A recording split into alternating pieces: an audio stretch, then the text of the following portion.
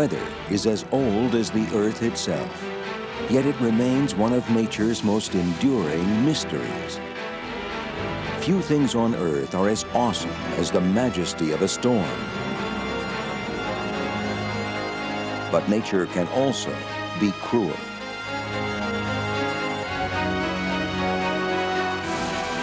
It can kill thousands of people in minutes destroy in moments all that a family has worked for.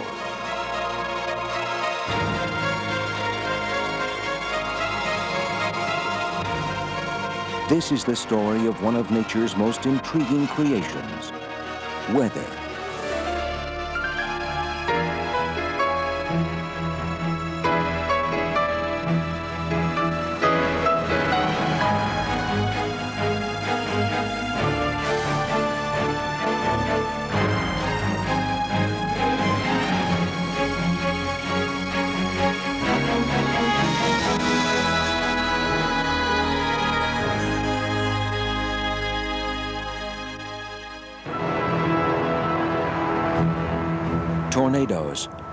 Fastest winds on Earth.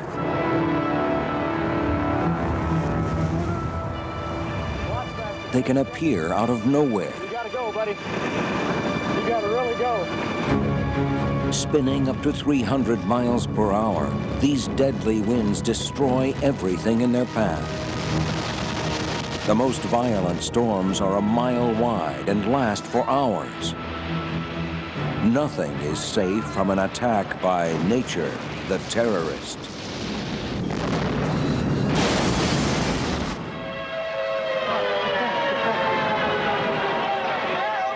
Tornadoes are the most violent weather phenomenon on Earth.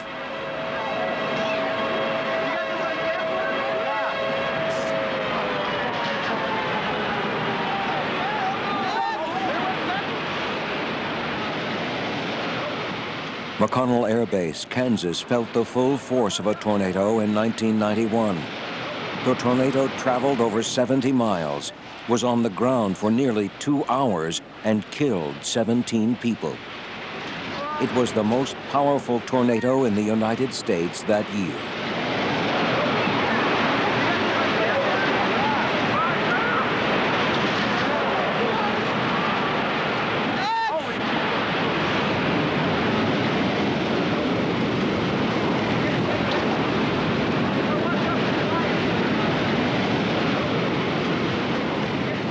For three months every year, people across the Midwest of America live in fear of a tornado touchdown.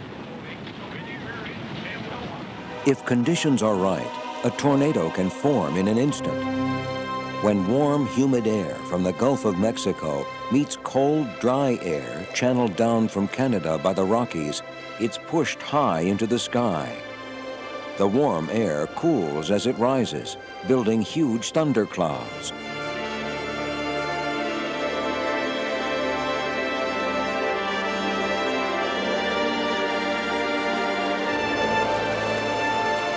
First, there is a deluge of rain. Then, more ominously, hail. Lightning cracks open the sky. Finally, if the storm is severe enough, a funnel bursts out of the foot of the storm and spirals to the ground. A tornado is born. They come in many shapes, from a long, twisted, thin rope to a fat, inverted bell. They may be as narrow as 50 yards or as wide as a mile. Most are weak. 20% are strong. And 1% are exceptionally powerful. It's that small proportion of violent tornadoes that cause the most death and destruction. Tornadoes can happen anywhere in the world. Over a thousand touch down in North America in any given year, and one third occur in Texas, Oklahoma, and Kansas, a region known as Tornado Alley.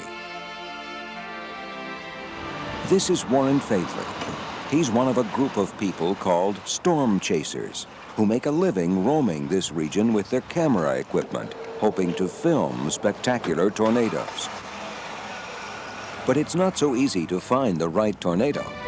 You've got to know which thunderstorm will spawn a tornado, or you'll just be chasing black clouds all day.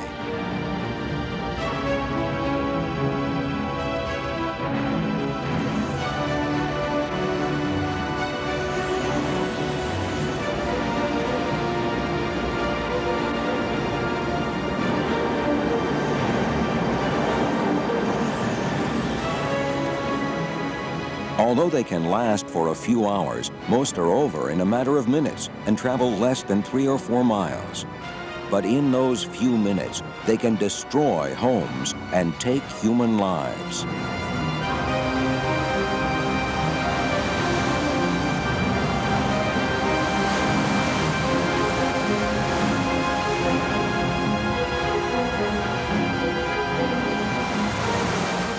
Successful tornado chasing requires intuition, a vast array of equipment, and a surprising amount of luck. Warren Faidley is armed with the latest technology. One of the most important pieces of equipment we have here is the weather computer. Uh, it allows me to get things like dew points and temperatures and wind speeds. And uh, the nice thing about this is we have this information continuously as we're driving. We don't need to call into a weather service or find out. It's, it's here all the time, which is really important. Also have four radios. We have two scanners, which will allow me to pick up the highway patrol or police or, or civil, defense, civil defense frequencies. Uh, we also have radios for communicating, which is a CB and a two meter, two meter ham radio. In the front here, I have a Hi8 camera, which is mounted on a bracket that I designed. And what this does is it gives me a shot out the front windshield, uh, hands-free, so I can actually keep both hands on the steering wheel. Connected to it is a color television monitor uh, which lets me see what the camera is doing, and also I can use this as a television to get weather reports from local weather stations. Tornadoes can carry away an entire house and leave not a trace behind. Or they can pick up a jar of pickles and transport it 25 miles without breaking it. One tornado plucked the feathers off a chicken, but left the bird behind, naked and alive.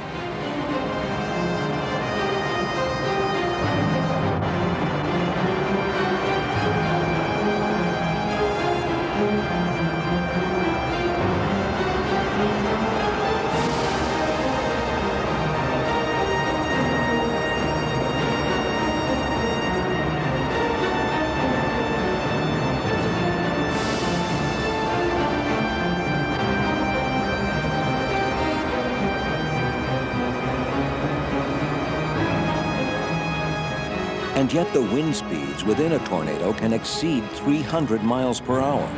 And no one knows better than Warren Faidley what that can mean.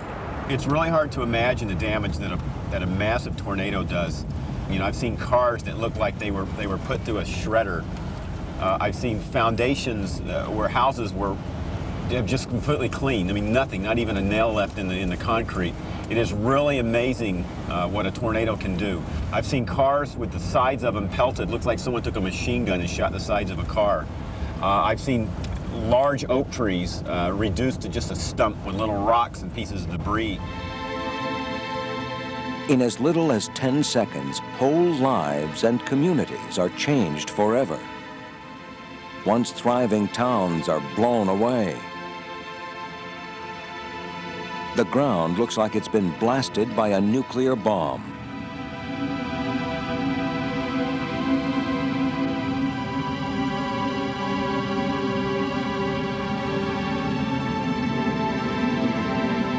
For the survivors, it's an unforgettable experience. We ran to the paved area underneath the overpass and started running up toward the wedge. And by that time, the wind was so strong that I just spread eagle on the concrete to create the lowest profile. All the cars that had pulled in and parked under the overpass had been blown and were stacked up on one another. And I started looking for my automobile, and I found it a quarter of a mile down the expressway in this condition. This was the bank seven of us employees went into the vault and we knelt on the floor and we could hear this roaring sound. And then all of a sudden, we just felt like we was going to explode and our ears needed popping. So we stayed there for a while till everything got quiet. And then we got up and we looked out and we just couldn't believe what we saw because there the cars that were in the parking lot were now in the bank's lobby and there was no bank left. The First storm was already up. Pretty far north. Yeah, on the- way far north, up, in, up into Oklahoma. The best defense against a tornado is to know exactly where it is.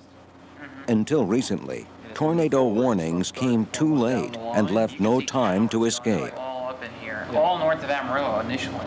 Storms, first storms. Now scientists use the latest generation of radar to pinpoint areas of severe rainfall and high winds.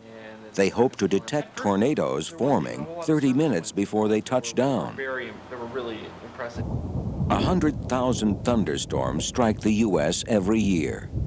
1,000 spawn tornadoes. 20 are deadly. Scientists try to isolate the killer tornadoes and put out a watch two to six hours ahead. But the chase area is so vast that being in the right place at the right time can be very tricky. Once we get around 3.30, which I call like the sweet hour, that's when things usually begin to happen for the good or the worse. Either you see the atmosphere looks, looks uh, stabilized or what we call capped, and nothing's going to happen, or it begins to show signs uh, that convection's occurring, that you have rising air and you have clouds forming like we see out here right now. It's getting tense for Faidley. Tornado chasing is expensive, and every day without one is costing him money. This is what every chaser is after to face the monster head on and capture it on film. In Amarillo, Texas, a storm chaser got more than he bargained for. Not one storm, but six surrounded him like a pack of wild dogs. It's an event that's never been filmed before. Here, the conditions begin to look right for a tornado. Uh, I got the uh, computer to work. The dew point is 6-9. Repeat, 6-9.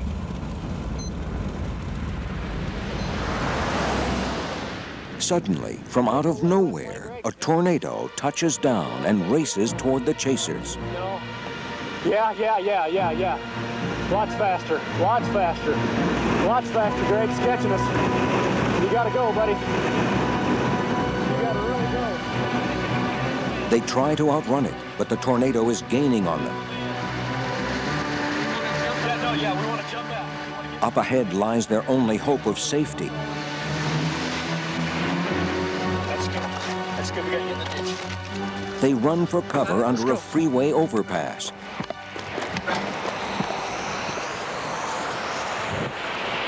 Under the girders. Is that where we want to go? Yes. They lead a terrified family to safety under the bridge. Underneath the girders. Keep rolling, Ted. It's coming at us. Keep rolling. Come here. Hang on, you'll be fine. Hang on to the girders. Don't worry about it. Just hang on. Ted.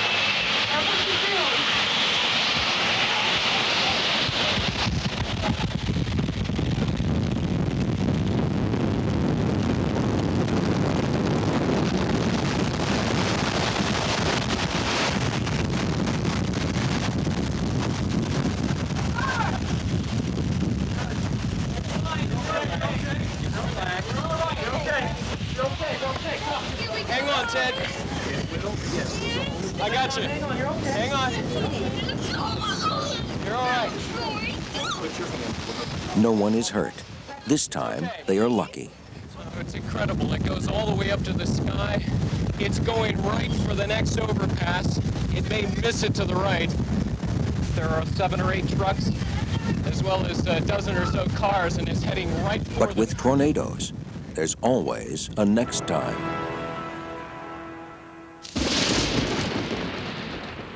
Hotter than the surface of the sun. When it stirs, the very air around it burns. With the power to create and destroy, its beauty is literally striking. we can try to photograph it. We can fly through it. But we'll never be able to control or fully understand the mystery of lightning. Of all the weather phenomenon that nature has in store for us, none is more terrifying than lightning. Scientists have known about the electrical component of lightning for 250 years, but they still don't know how a lightning bolt begins or why it takes one path over another. In other words, lightning seems to choose its victims at random. I was struck by lightning three years ago, and I'm still, I think, in the process of recovery. My life changed completely after I was struck. Everything I was, everything that I did was taken away, stripped away.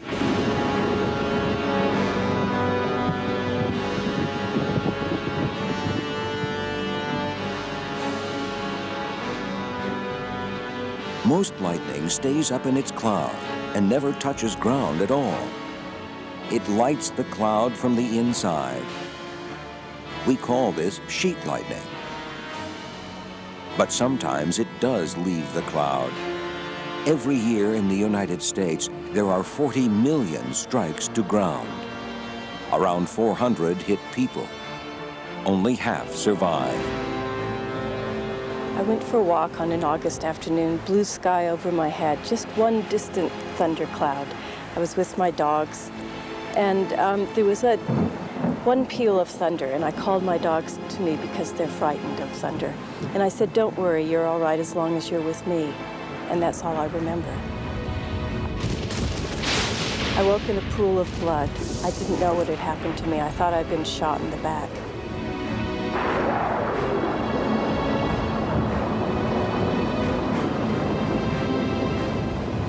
I lay there for a long time thinking I was going to die. I was in terrible pain. It was then that I realized I must have been hit by lightning. The storm came around and was just thundering all around me. And the only thing I could think of was that I'd swallowed fire. Every year, lightning kills thousands of people all over the world. Each bolt only lasts a fraction of a second, but it can be up to 30 miles long, and it's less than an inch thick. It's hotter than the surface of the sun. You hear the shockwave 15 miles away as a clap of thunder. We don't even know what guides lightning's jagged path or why it chooses to strike in one place rather than another. All we do know is that the path is first created by a trickle of electricity that rushes outward from a charged region high inside the cloud. It begins as a small spark inside the cloud five miles up. A spurt of electrons rushes outward, travels a hundred meters, then stops and pulls for a few millionths of a second. Then the stream lurches off in a different direction, pulls again and again. Often the stream branches and splits. This is not a lightning bolt yet. It's called a stepped leader, an intensely charged channel leaping and branching down. As it gets close, its electric field begins to exert a pull on the ground. When that stepped leader is within 10 or 100 meters of the ground, the ground is now aware of there being a big surplus of negative electricity, which has come down on a conductor. Certain objects on the Earth respond by launching little streamers up toward the step leader. Uh, weakly luminous plasma filaments, which are trying to connect with what's coming down. If you happen to be standing there, maybe a streamer is going to leave your head and, and, and head toward that step leader. A telephone pole might launch a positive streamer. A blade of grass might launch a positive streamer up toward the step leader.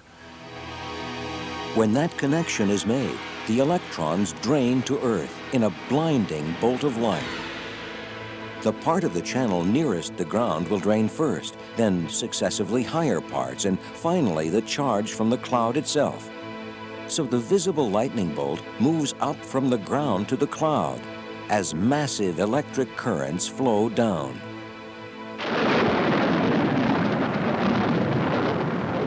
These positive streamers only exist for a minute fraction of a second. Photographs of them are extremely rare. Here, two streamers left the treetop, but only one of them successfully connected with a descending stepped leader. A nearby telephone pole also launched a positive streamer upward, a failed lightning bolt. Photos from the space shuttle show us that the most severe thunderstorms on Earth occur mainly in a belt around the tropics and subtropics. At any one time, there are almost 2,000 individual active thunderstorms on Earth. One prime spot is Florida.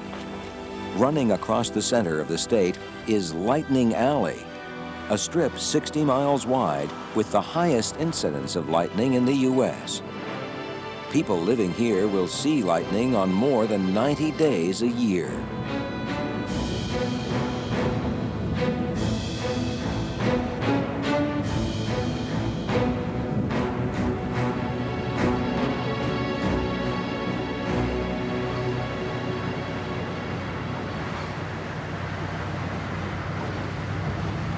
My one hope hinges on that cloud up there, and it looks pretty good. It's um, it's quarter till eight. The sun goes down about eight o'clock, so I can shoot about quarter after eight. That gives me a half hour. And that cloud right there just looks like it might do us some good. David Stallings lives right in the middle of Lightning Alley.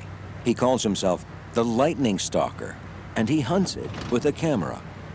On July 1st of 1976, I captured my very first streak of lightning, and it's called eruption because it seemed like it was erupting right out of that center pucker, and there was blue sky and purple clouds. I was hooked from that point on. But one of the other good ones I got, oh, Halloween night, 1985.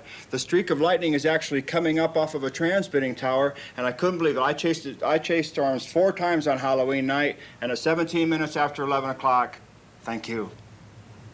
And one of my other good ones, oh, for 1992, the best storm for 1992, capturing a bolt of lightning with the sunset, that's one thing. But capturing a bolt of lightning actually coming out of the cloud and into the sunset and down to the earth, that's so rare. What a great storm.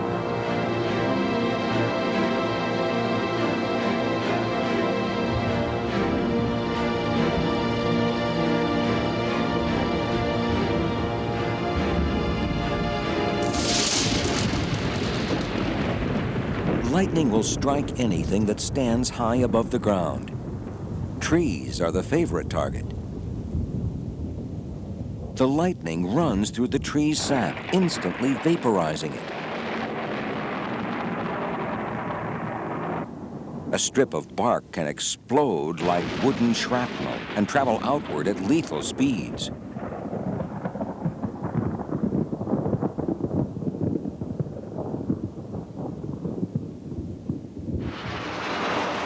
Plane can expect to be hit by lightning at least once a year.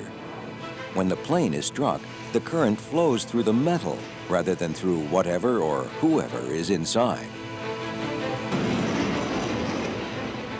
In the 1980s, NASA flew a fighter plane right through the most violent thunderstorms.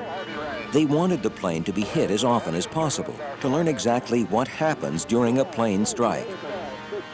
They were more successful than they'd ever hoped the plane's metal body compressed the storm's electric fields as it flew through them. It was the plane's presence that triggered the thunderbolt. Oh, good, Dallas. I heard three rumbles down the airplane. Down, down, down.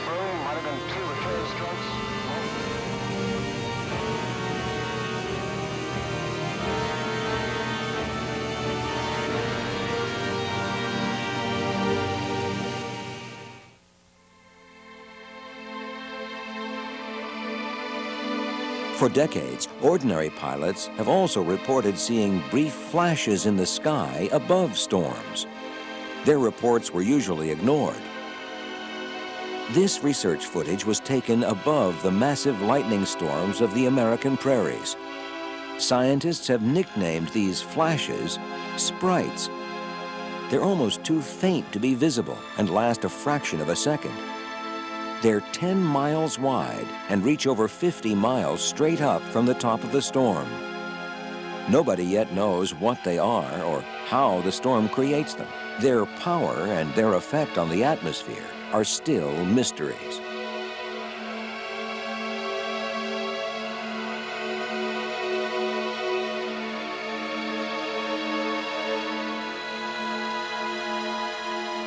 But you need to go higher than a plane can fly before you can appreciate the real scale of lightning on Earth.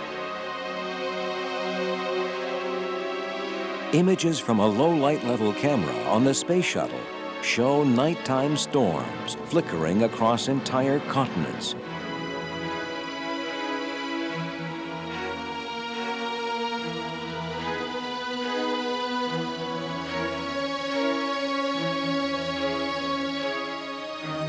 But it's not just the Earth. There is evidence for lightning on other planets in the solar system, too. On Jupiter, it's actually been photographed. This violent flash of light, a thousand miles long, was caught by one of the Voyager probes as it passed. Perhaps there is lightning everywhere.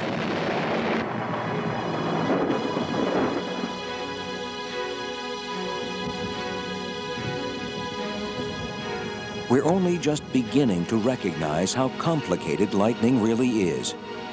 Despite centuries of research, we still do not understand the real nature of this primeval force. We can only hope that the 21st century will provide the answers we seek.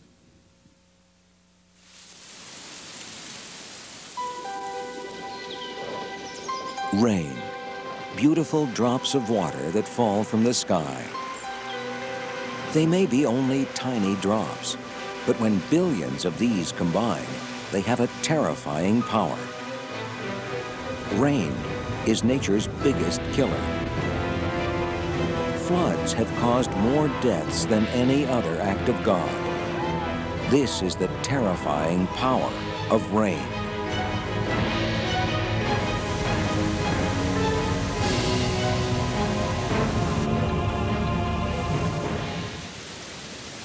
The destructive power of water lies in its weight. A large bathful weighs three quarters of a ton. So it takes only two feet of water to wash a car away. 60% of the people killed in floods in the United States were trapped in their vehicles.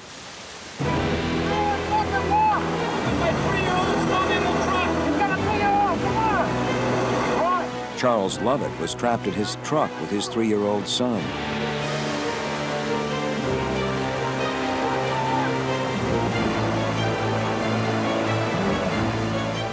By pure chance, their truck stayed upright and wedged close to the riverbank.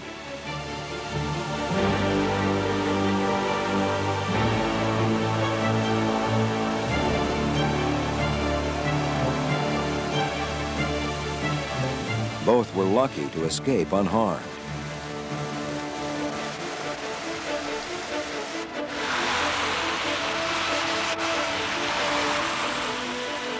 To most of us, floods and rain are just a nuisance.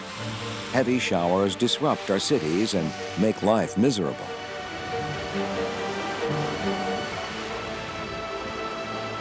Yet all life on land depends on rain. Without rain, our world would become a desert.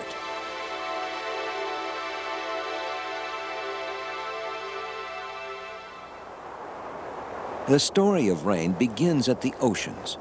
Three quarters of our planet is covered in water. This vast reservoir supplies most of our rain.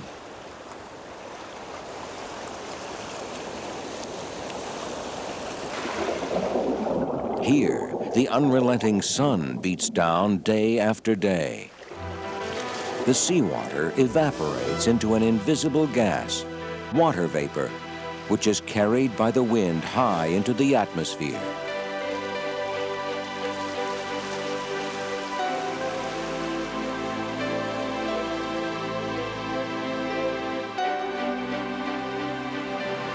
Waves too play their part. They throw tiny crystals of salt into the air. Other microscopic particles, like smoke from forest fires, also help make rain.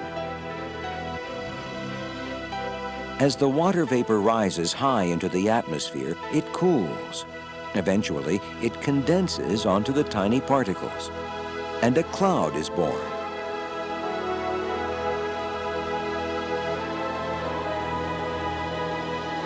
Water in the air is constantly changing between visible droplets and invisible water vapor. So the life of a cloud is often very short. The average cloud lasts only about 10 minutes. Yet all those water droplets add up. A typical cumulus cloud weighs over 500 tons.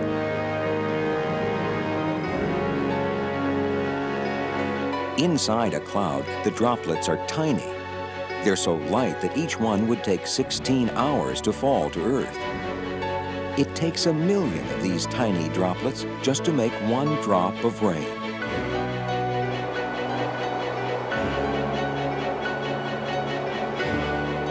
Rain starts at the top of the cloud as snow. It's so cold up here that the water vapor freezes into ice crystals.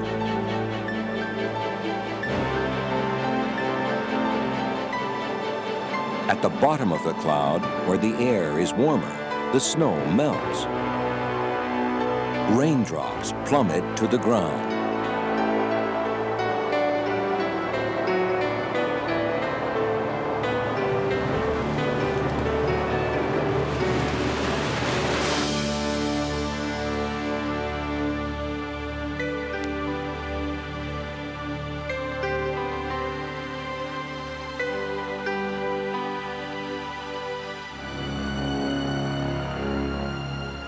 This is Big Thompson Canyon, 50 miles northwest of Denver, Colorado. On Saturday, July 31st, 1976, the state of Colorado was celebrating its 100th anniversary with a long weekend. Thunderstorms were forecast for late afternoon, but no one was prepared for what was to come. Country musician Jerry Schaefer lived in the canyon. It was a really uh, overcast, kind of, but uh, it, it, wasn't raining here. I noticed that, you know, there were clouds out, and we were out mowing grass that day and working on the cars and things. But I also did notice that if you looked up the canyon up there, there was really dark, dark thunderstorms, just like the whole mountainside. In mid-afternoon, a camper walking in the Rockies above the head of the canyon took this photo of an extraordinary thunderhead that had been growing all day.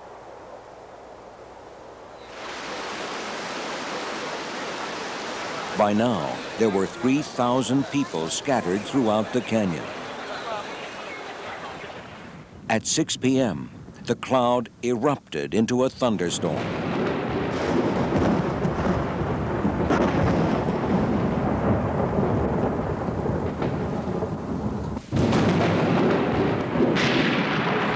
Over the next four hours, the storm poured 10 inches of rain onto the ground below an incredible amount compared to the usual annual rainfall of only 14 inches.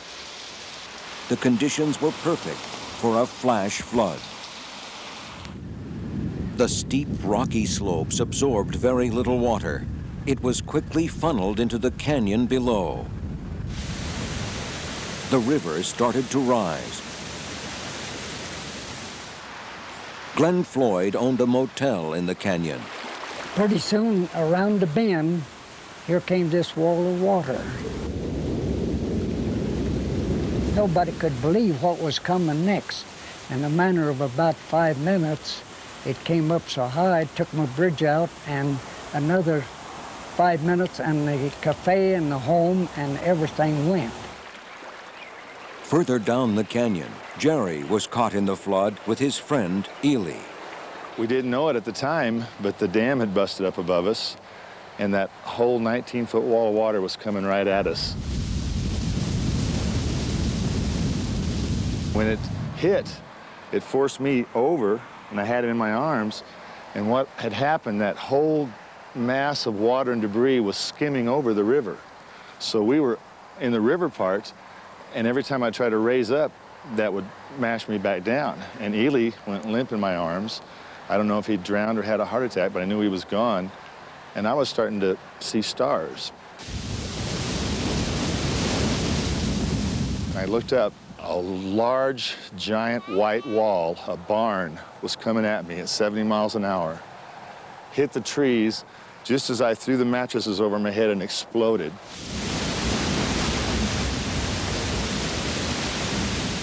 What had happened then, it had formed a big delta of debris, and the rest of the night, the flood just went around me.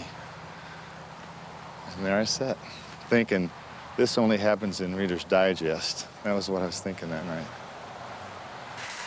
The rain continued to pour, and the waters raged through the night. Rescue workers went into action. Darkness made the search for survivors almost impossible. Yeah, right. Okay, we've gotta set up another heliport over this one. At dawn, rescuers learned the full extent of the tragedy.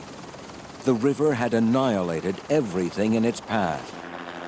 Rescue helicopters continued to search the canyon, picking up the lucky few who had scrambled to higher ground.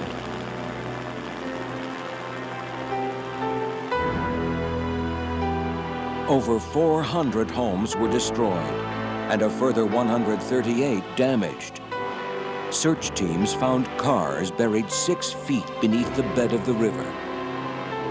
In just a few hours, rain caused $35.5 million in damage. Worst of all, the flood killed 145 people. Six bodies were never found. Today, the only evidence of that flood is the warning signs.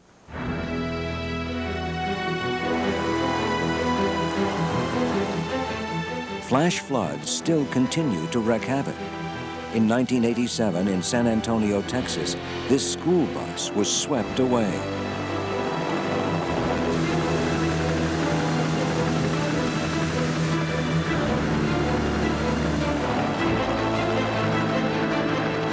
Rescuers managed to save most of the kids, but sadly, 10 children drowned.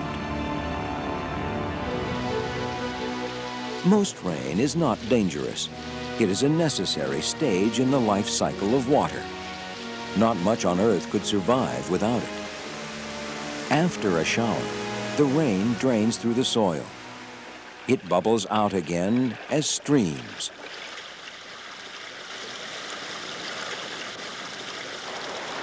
The streams become rivers, winding their way towards the ocean. The rain returns to the sea to begin life again. But sometimes even the largest rivers can't handle the rain. Over 100,000 streams drain into the Mississippi. It collects rain from two Canadian provinces and 31 American states. At the River Forecast Center in St. Louis, meteorologists monitor the level of the Mississippi on the lookout for floods. In early 1993, an exceptional amount of rain fell in the basin around the city. By spring, the ground was saturated and the reservoirs upstream were overflowing. The River Forecast Center went on alert. The weather radar showed a lineup of storms headed their way. The river continued to rise. The following is a flood potential outlook issued by the National Weather Service in St. Louis, Missouri. Heavy rainfall is possible again over the northern half of Missouri tonight and Friday. The ground is saturated and many rivers are near or above flood stage. The heavy rain will run off quickly and may produce flash flooding people living in or traveling through northern and central Missouri should listen for the latest forecast. Finally, the river burst its banks. The worst flood in the United States for 66 years had begun. Over 340 square miles of land was underwater.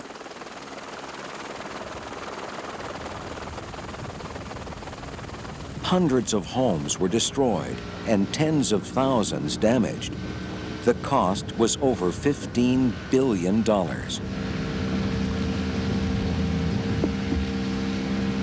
Despite the extensive destruction, the flood warnings prepared many people. Most were able to leave their homes in time, but 50 people died anyway.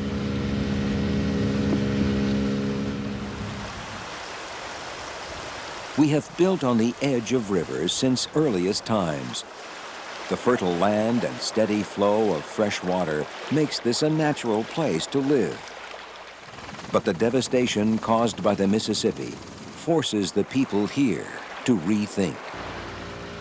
In August 1993, the Mississippi flooded the town of Valmeyer. It was underwater for two months. A year later, Valmeyer had become a ghost town.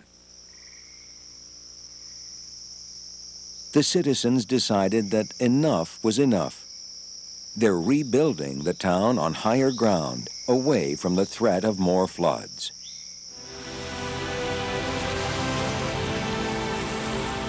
Rain affects each and every one of us. It doesn't respect culture or society. It destroys by brute force.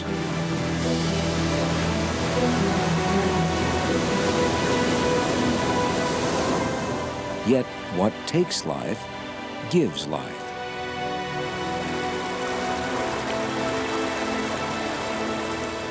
Rain, nature's most delicate and most lethal force.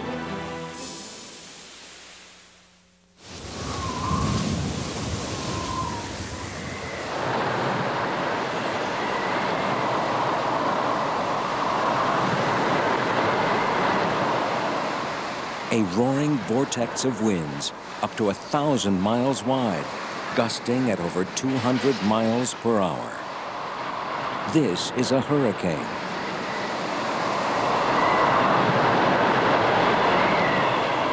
Its energy is equivalent to exploding an atomic bomb every second.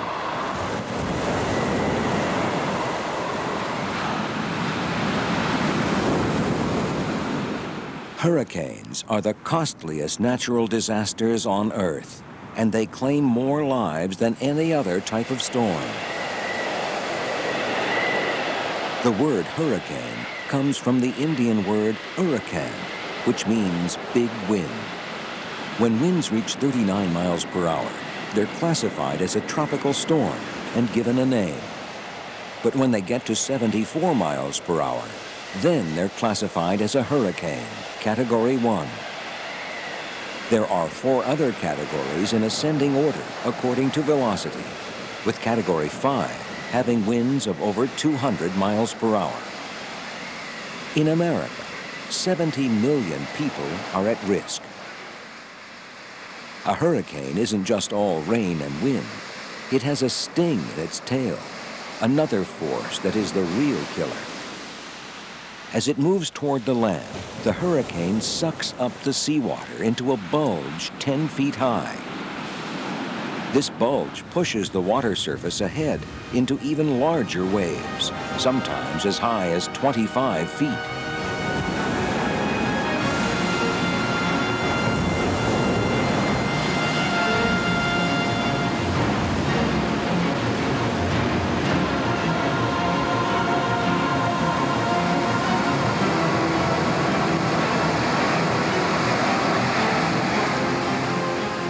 This is called the storm surge, and it's the hurricane's deadliest weapon.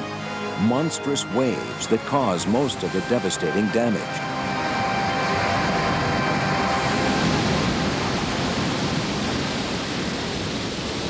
The storm surge is responsible for 90% of all hurricane deaths. The life cycle of a hurricane begins a long way off, in Africa. Heavy rainfall is a hurricane's first food. It spawns weak storms off the coast of Senegal in West Africa. Usually they dissipate and die.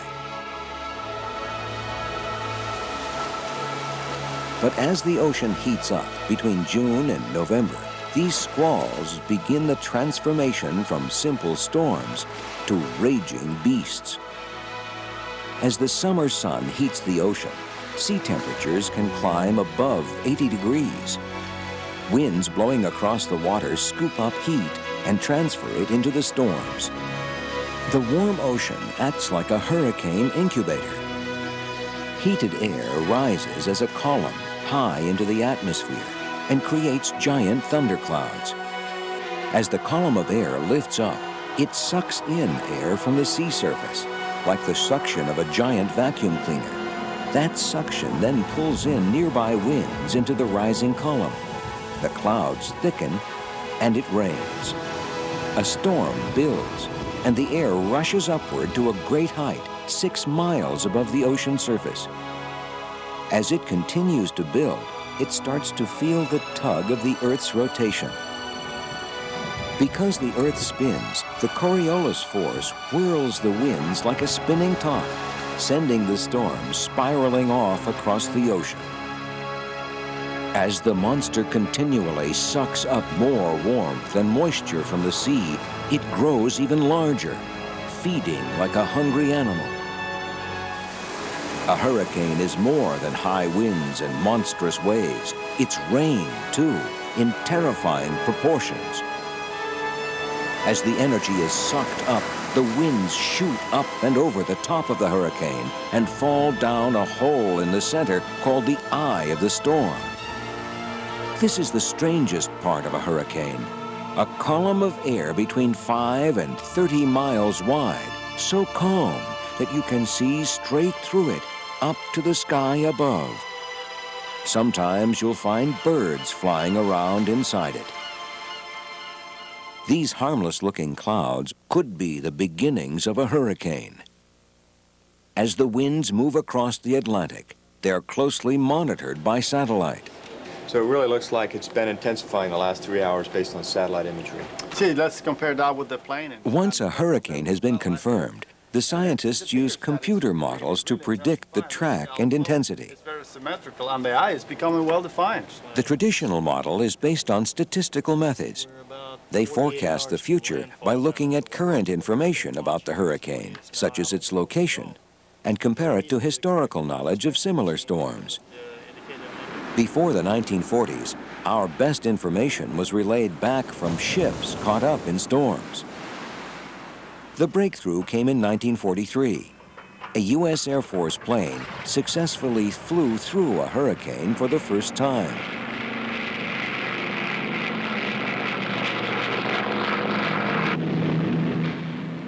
New information, such as temperature and wind speeds, could now be analyzed by the meteorologists.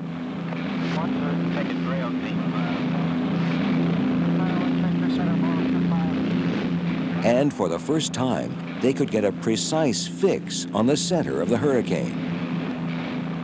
To get enough data, these dangerous missions lasted up to 14 hours, in spite of extreme turbulence.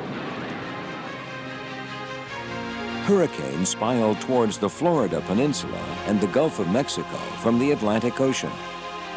In the Pacific, the same phenomenon is known as a typhoon. In the Indian Ocean and around Australia, it's called a tropical cyclone. Seen from the space shuttle, a hurricane is a tight anti-clockwise spiral of clouds centered around the eye of the storm. In 1938, a hurricane smashed into the coast of New England with no warning. It was so powerful that it pulverized the coastline into a new shape and killed 600 people. But the most deadly natural disaster in American history occurred in 1900. Thomas Edison captured the aftermath using the newly invented movie camera. Early on the morning of the 18th of September, the resort town of Galveston, Texas was hit by a hurricane. And by nighttime, half the city was underwater. Wind speeds estimated at over 110 miles per hour sent a five-foot tidal wave through the town. The death toll was estimated at 12,000.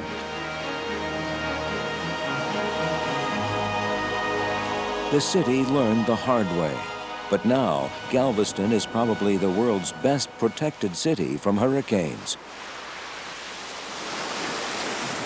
Between Galveston and the sea, there is a barrier nearly 11 miles long, 16 feet wide at the base, and 20 feet high. It used to be a tricky business forecasting when, where, and at what speeds a hurricane would hit. In 1967, 24 people, thinking an approaching storm would be mild, decided to have a hurricane party and ride out whatever it could throw at them. But the storm turned out to be Hurricane Camille, the strongest hurricane in living memory all but one of the group perished in the monstrous storm surge that wiped out their apartment block. A small boy who floated out on a mattress was the sole survivor. Fortunately, now computers and satellite data can be combined in a dynamical model which pinpoints a hurricane's course to within 100 miles. So for anyone living in the predicted path of a hurricane, be warned. It's time to get out and stay out.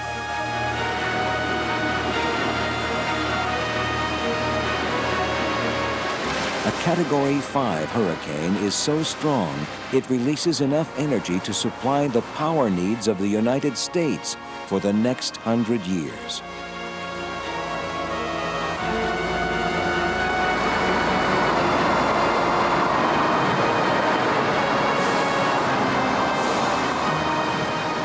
Just when you think you can't take any more, the winds suddenly stop. This is the eye passing over. Clear blue skies above are surrounded by a mass of angry clouds. But this is just a brief respite. The hurricane has only delivered half its fury. People often make the mistake of assuming the eye is the end of the storm. It's a tragic mistake. The eye passes, and the most powerful winds ravage the area from the opposite direction.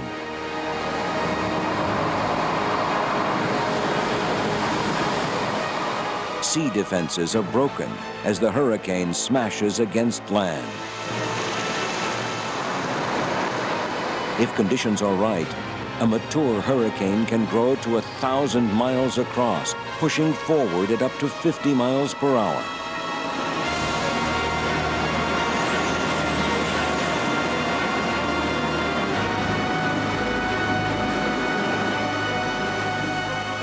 Eventually, the hurricane reaches old age.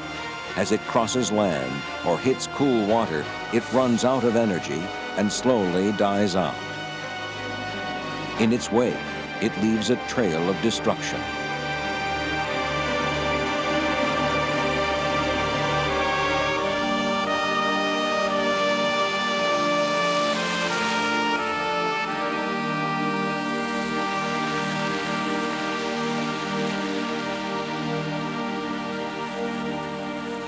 Thankfully, as the art of forecasting has improved, the death toll has fallen dramatically.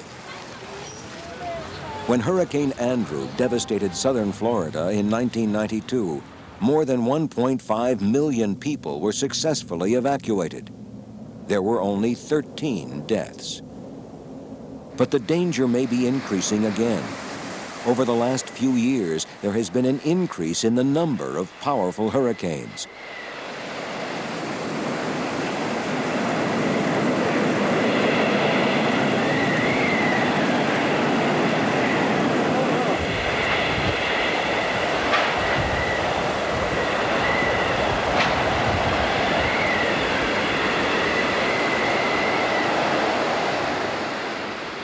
Caused over $20 billion worth of damage, the costliest natural disaster in world history. By the time rescue work began, it was clear that the storm's strength would be set at the highest level, a Category 5. Hurricane Gilbert in 1988 which devastated most of the Caribbean and the Yucatan Peninsula in Central America, also rated a 5. It left 200 dead and 800,000 homeless. Statistically, Category 5 hurricanes are only expected once every 100 years. In the eyes of the insurance companies, two in just four years is a serious escalation. Scientists are worried. Is global warming heating up the oceans and in turn triggering violent hurricanes more frequently? Or is it just an unusual coincidence? Whatever the truth, it is reassuring that the scientists battling these engines of death have never been so accurate as they are today in their predictions and warnings. For once the ocean surface reaches the critical temperature of 80 degrees, the most feared storm on Earth is ready to begin its trail of devastation and destruction.